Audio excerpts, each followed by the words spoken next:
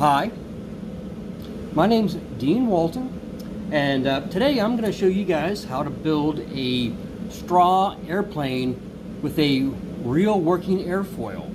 And that is something that actually gives the plane lift and makes it fly like a real airplane. And so in a sense, this will be different than most other paper airplanes that you've built that really don't have what would be a true airfoil. This one really is a true airfoil. So it's easy to build. We can do it in probably 20 minutes. Um, it takes just eight straws, a couple pieces of paper, uh, some tape, scissors, one penny. Um, but before that, I kind of want to introduce myself. So um, again, I am Dean Walton. I am the uh, Lorry I. Lokey Science and Technology Outreach Librarian at the University of Oregon. And um, I get students um, involved using technology to help them explore and do research. So you know, libraries have changed quite a bit from um, the past. You know, it used to be that you know libraries were the place where you just stored books, and those books are really important to help people do research. But today, we foster research in numerous other ways that you probably wouldn't have imagined, you know, even five, ten years ago. We help people build 3D models. We do work with um, augmented reality. Um, we help with visualizations. Here I am getting students building robotic vehicles that we actually put in rockets, launch up into the air. These things come down, um, navigate across the desert, do wild things. Um, making slinky seismometers to detect earthquakes. So that's kind of what I do. And I get students involved making things so they actually can collect data and do something with what they what they've used. Um, but I've only been doing this about uh, about half my career. I do have to say that, and I'll show you these pictures right about now, that um, I started off as a field biologist, a field ecologist. It's what I really wanted to do throughout my young life. Since fourth grade, I really wanted to be a field ecologist or biologist. I didn't know ecology back then, so, but I wanted to do something, you know, explore the outside. And um, so I went to school for that. Um, I volunteered at places uh, where I could do that kind of work so I could learn about what people did outside. So volunteering was an important part of my um, career learning um, background. So getting a chance to learn what people did in different places. Um, so I did that even in high school um, and in college. I volunteered at many places to get more experience doing kind of fieldwork related things. And here you can see a picture of me um, actually hanging out in a really big tree. Um, I didn't do any really big tree things as a field ecologist, but I did do a lot of cliff work looking at lichens. So that was kind of a cool thing. I'm going to show you some other pictures here. We're going to flip through these things. So I go to my next picture. Yeah, there I am out in the field uh, collecting data at Shenandoah National Park. So I'm actually doing a botanical survey where I'm trying to determine all the different plants that are in that area. Uh, there I am with the uh, Park Service botanist, and obviously I'm the guy there on the on the right hand side, and uh, uh, Becky is over there on the left hand side. And so that was kind of fun. And you can see that was back in 2001, still doing field work then. Uh, I'm also a firm believer of taking kids to work. And that's really, in a sense, the reason that I changed from my field job to this current job. Uh, I loved what I did, but I was out in the field. Um, I would leave Monday, get back Friday, and from basically April until um, probably around October. And I did that for year after year after year, and I loved it. But when I became a dad, I wanted to see my kid grow up, and I wanted to be around my daughter as she was growing up. So I changed from being a field person to this new career where I do a lot more science education. And it kept me around the house. But even back then, you can see when my daughter was pretty young, um, I got her out in the field, and there I am doing a uh, herp survey. We're looking for lizards and snakes uh, out in the area of Virginia. Uh, but even more recently, even as being uh, in this current position, I still got my daughter out in the field to do things that I loved, and she seemed to like it too. And here we are getting into dry suits, and we're going to go snorkel a few local ponds that are near the river looking for freshwater mussels that are sort of uncommon in our area. So we're doing a, a freshwater mussel, and what I mean here is like bivalves, like clamshell kind of things. So we're looking for something like that. We're looking for, you might say seashells, but they're not from the sea. They're from, from the river or from this pond. And so we're putting on dry to go explore that stuff. But probably more typically, that I give lectures and things like this. I teach classes. Um, and so I do a lot of things like that. Um, but I do fun things like here I am uh, using drones to do conservation work. So we're using drones to go out and detect um, what is rare in a certain area to do plant surveys. And that was just, just a few years ago. Uh, even more recently, here are some students from the University of Oregon, and we've got them building a robotic, actually it's this thing right here, a robotic sensor system that gets put in a rocket that goes up to 12,000 feet, comes down by parachute, and then navigates across the desert to collect data. Uh, there's the rocket. You can see where that uh, robot was sitting. And we did that um, one year, uh, we did it another year, and we've done it another year. So we've done this for three years now of doing some really cool stuff. So those are some of the things that I do, in a sense, as a librarian. Uh, I help a lot of fostering research. Um, libraries still exist with books, and I help people find information uh, on the computer, uh, find the best resources. But myself and my colleagues do a lot of things that I don't think many people realize that we do as librarians. Um, but this kind of is my world. It's building environmental sensor systems to collect data, get students involved, uh, help them understand science, technology, and doing really kind of fun things.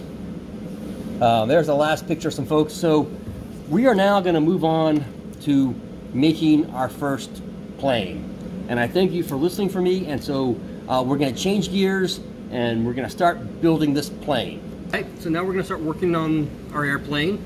It does have a working airfoil. That is our goal to have this, what is a real airfoil. Gives the plane lift. The plane has a top side. It has two straws on top. And then it has a single straw on the bottom and the penny is on the bottom side. All right, so we build. So we have nine straws in the kit. We have a piece of paper like this two black lines, one wide piece, two narrow pieces, penny. Then we have a sheet of paper that has two things on it. This side here, that side there. To begin with, we're gonna start right here. I've already pre-cut part of it just to make this faster, but we're gonna cut our pieces apart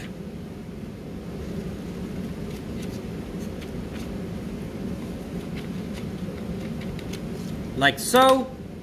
We have, this will be our measuring device.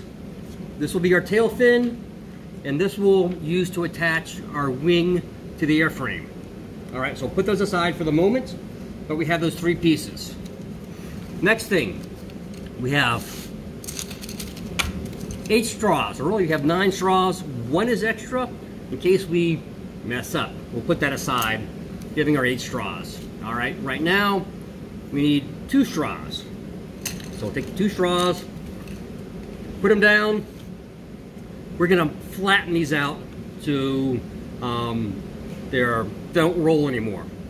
So basically I'm gonna put my finger here, press down from the center and then squeeze it outwards. Repeat, press down, squeeze outwards. I'm gonna grab a pencil, push across, like so, flip it over, push it across, like so. That is now a flattened straw. Repeat the process. Push down in the center, work your way out from the center, flatten, roll over, flatten, flatten. Done. Two flat straws. All right. We're going to take a piece of paper with a penny, our measuring device. Take a straw, put it along one edge, find the end point of the straw, you make a line there, you fold this over like that, Find the crease right there. That is the center point of our straw. Put a straw there. Mark. Flatten straw has a center line. We repeat the process. Straw, get it lined up, center line, done. Two flat straws, two center lines. Put this away for the moment. All right. Next thing, we need two pair of straws, like so. We are gonna grab some tape and we're gonna go in about one inch from the edge and we're gonna wrap our tape around. We need to make sure we get the tape flat to begin with, wrap it around so it at least covers it fully around, but we wanna use as little tape as we can. That's done. You flip it over. Again, leave about one inch showing. Flatten the tape flat, then wrap all the way around. That is done. On one side, just mark a line right across there. Actually, I should be using my marker pen right here. And I want to do just a single line across. All right, that part is done. I am using masking tape, painter's tape, so you can see the tape that I'm using. You should be using masking tape like this, that's clear and thin. But you just can't see that in the video, so I wanted to show you this with the painter's tape so you can see what I'm doing but you want to use this kind of tape. All right, we're going to repeat the process almost exactly the same. Two straws, show about an inch, put the tape, flatten it, wrap it around. That part is done. But now on this side, we want to have at least three inches showing. So I'm going to put my piece of tape down about there. Maybe even a tad more, right about there and then wrap, flatten, wrap around. All right, so that's what the two things look like. I need to put a line. So the side that has the greater amount showing, I'm gonna put two lines on that. All right, so almost identical, identical down here, offset right there compared to that. One line, two lines. We're good. All right. Now we're going to put it so that the unmarked ends are in the center, the sides that have lines outwards. Notice that the top sides don't have anything. So we're going to have lines just on one side. We grab a fifth straw. We're going to attach it basically the line that has the two edges. Showing we're to come down here and we're going to tape this straw where these two meet and then basically where it ends on each other straw. So it's going to sit right about like so. The first thing to do is to grab this end, put that there. I have one small piece of tape. It's not quite long enough put that around like so. That part is done. Let me get a slightly longer piece. I want to make sure these go all the way around.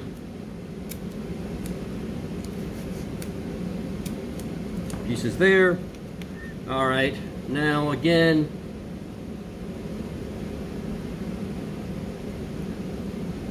and there and there, these sides where they hit each other, I'm going to tape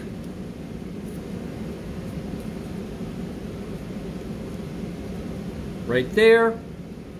And now we're going to tape it right there and fix that joint, that connection right there. Flatten it,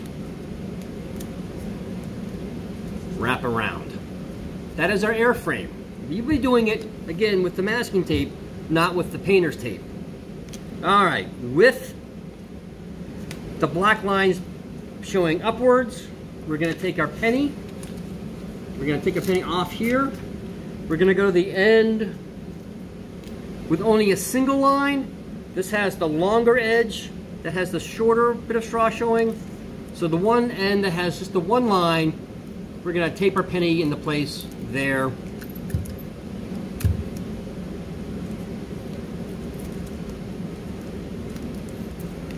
Like so. So it covers up that black line. And in fact, we may want to, in this case, we can add some extra tape at this one particular place to ensure that penny stays in spot. All right, so again, we have the two lines showing here with the longer section. The area here we had the one line, is where the penny's now um, attached. That's good there. And put that aside for the moment. We're gonna grab will be our airfoil. So, next thing we're gonna do, we're gonna fold this in half on this line right here. Um, find the middle point there, come out, like so, fold it on the midline, creased on that longer line right there. All right, now we grab one of our flattened straws. We're gonna cut this flattened straw in half at the midline. I have two pieces. They're gonna get taped in place right here. So I have one piece, taped down, like that. My other piece here,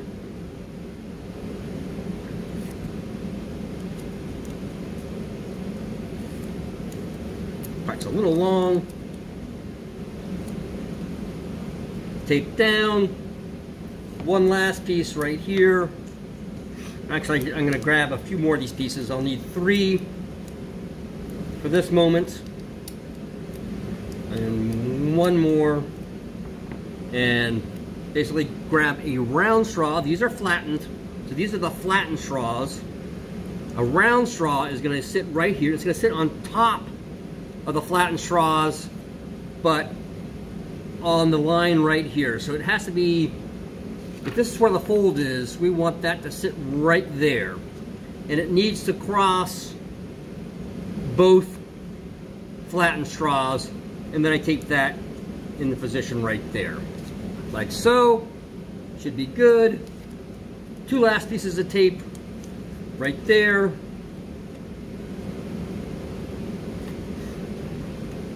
And right there. All right, again, you'd be using masking tape, I'm using the painter's tape. Now we're gonna fold this over like so, and we're gonna try to pull it so that it comes close to touching the back end. But because of the straw, it can't make it all the way there. So we carefully pull it taut from that center line, right about so, and I put another piece of tape right there.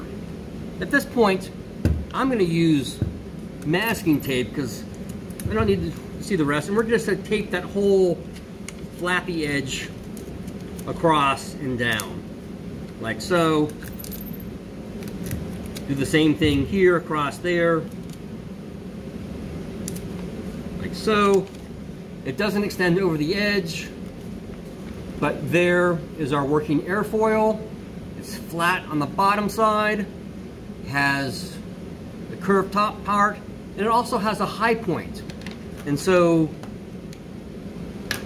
the high point of the wing is right about there. I'll make a dot right there. That's going to be a very important part for figuring out how the airplane flies. Because where this part is in relation to the airframe is what makes it all work. That's an important thing. It won't work unless they're in the exact right spot. But that is our wing. Our wing is good for now. Next piece. This is the wider of the three pieces of paper.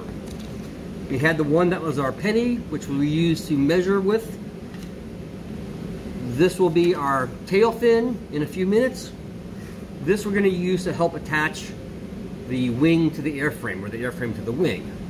And so I'm going to lay it flat. I am going to fold up just about a quarter inch like so. You can probably get an idea of how that looks like so. Just like that. I'm going to come here I'm going to put this about where that center is, right there. And I'm just going to start rolling it. So we don't tape this at all. We just need to roll this part up. And it needs to be rolled fairly tight, but not too tight. And we know how tight it is. Um, if you pull it tight and you're not like really, really forcing it tight, but you do it tightly, you'll be in good shape. You don't need to really work to get it tight, but just make sure it's tight. You roll it up. And then at the end, we can tape our straw closed. we want to make sure that we don't touch the straw or take the straw from the airframe. We want to be able to move back and forth like this. All right.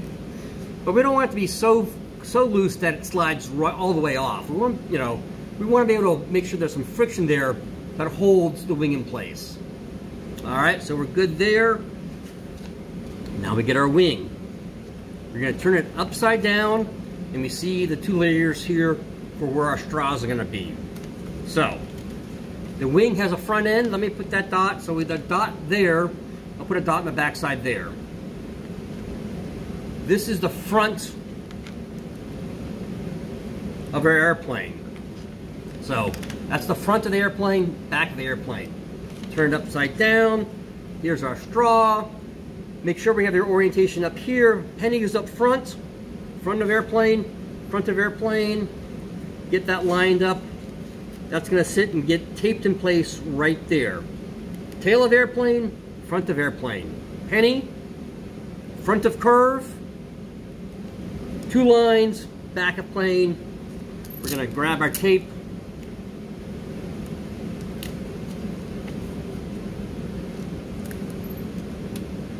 Here you can see we can deal with a lot longer tape across here. And we're gonna use three pieces of tape to tape that into position. And it's important that we just tape the tape onto that rolled piece of paper.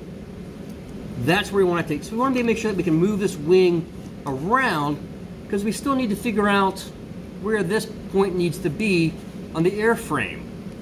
Again, the penny's here, the penny is underneath the wing. So there's the wing, penny, and then there's the rest of the tail.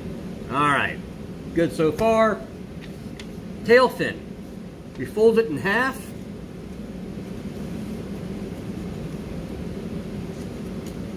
We have a V. We fold it inwards into that crest or into that valley.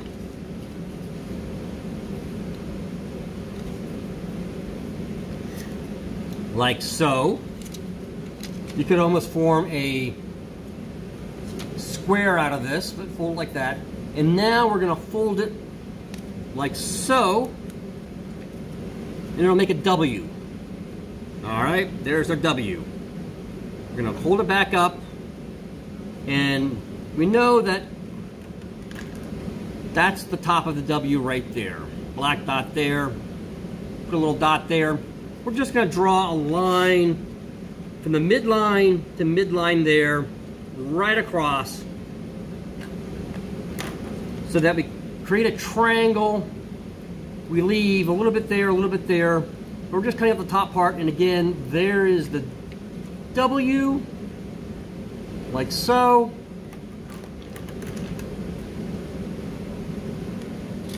Cut across like that. Now we have our W, both angles cut. This is our tail fin. We're gonna lay it flat for a second. I'm gonna grab a piece of tape right here just to close that together. Like so, only on the front side. I'm gonna turn it upside down. I'm gonna put another piece of tape right there. It's our tail fin. Looks good. All right, plane top side, bottom side, bottom side, or excuse me, top side, bottom side. Make sure the bottom side's showing right now. Edge of the desk. We're gonna slide our tail fin in right there. There's the top of the plane. That's how it's gonna look, like so. we are going to get that, flip it over now, and now we're going to tape our um, tail fin in place. So, tail fin in place, top of plane, plane. In effect, now this plane is finished with one minor exception. And it's the most critical part of the whole thing is that we still need to figure out where the wing needs to be on the plane. So how do we do this? What we need to do is we need to figure out where the plane bounces on our finger, which in this case is, let's see, right about there. But now the dot is ahead of my finger. So I need to figure, I need to be able to move the dot a little bit, and it's just trial and error. We're gonna move it back a little bit. And of course, every time we do this, it moves the position of where it balances. So this we have to do several times to figure out where everything needs to be. And now, figure out where it is. Now it's even further back, so I maybe need to make the plane forwards. Let's see now. No, we go back further.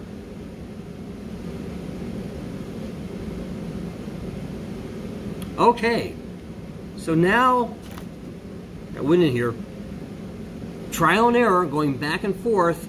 I was able to find a point where the plane balances on my finger and the wing, the dot of wing is over my finger, which is right about there.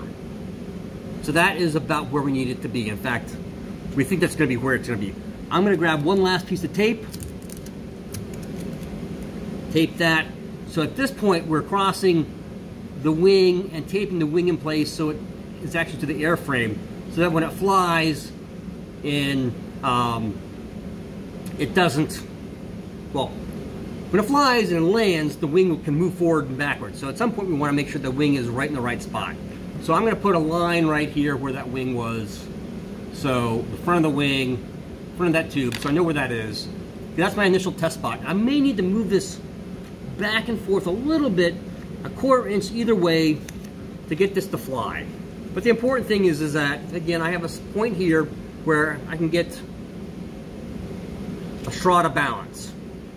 It's my center of gravity. So gravity's pulling straight down. But the wing, because it has lift, is pulling the plane straight up. Because what happens when the air goes past here, air below is going straight across, air top has to go up, it means it's going faster to get over the wing. It creates an area of low pressure, so air comes underneath and pushes the plane up. It's directly opposing gravity. So the point where we can get this to balance is where gravity is directly above, below us, and then lift is pulling the plane upwards. If, so we have lift, gravity. When they are opposed to each other, the plane can fly. If the lift is forward, then the plane is just going to go straight up. If lift is behind the center of gravity, then it's top, it's front heavy, and the plane just nosedives. So nosedives, flies, goes straight up, falls backwards. We think we have the right spot. We can try to get the balance. Pretty good we give it a try. We'll see what happens. We'll move the video, see what we can see from here, bring this up, and we'll give it our first try and see how well we do. Not too bad. What I saw is I probably need to have the wing just probably two millimeters, a quarter, maybe an eighth of an inch back further, and it'll probably fly a little bit longer, uh, flatter. But that's it. We have now made a paper airplane or straw airplane um, with a working airfoil. So hopefully that's cool and I thank you and hope you learn maybe a little physics along the way too. So that's my goal. Take care. Thank you.